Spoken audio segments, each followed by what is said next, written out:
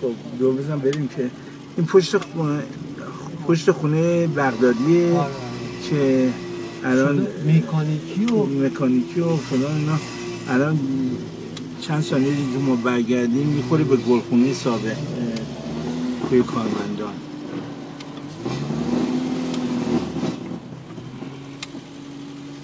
بله گلخونه دست چپ ما قرار داره.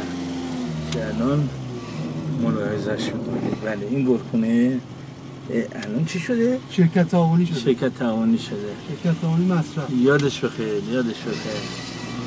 دست در نکن جمشید جان یادش بخیر. این همون خیابون پشت ما بود اه، کوی کارمندان بود که بنبست شده بود. آره داریم میریم جلو که برسیم به پشت خونه های پشت کوه. اینجا کجا میره؟ پشت کوی میره.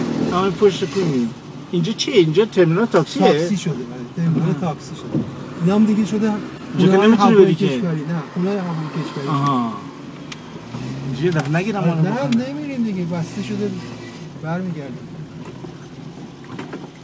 ولی اونجا برای من یه چیز دیگه شده. تازگی داشت که یارو اومد؟ نه تعمیرگاه شده. آها. میای تو چند وقت چند وقت اینجا یا نه؟ یا خیلی وقت نیومدم خیلی وقت پس ما باعث شدیم که بیاین شما هم یاد زنده کنید. اینم راه خروجی از کوی کارمندانه. شب روز همگی خوش.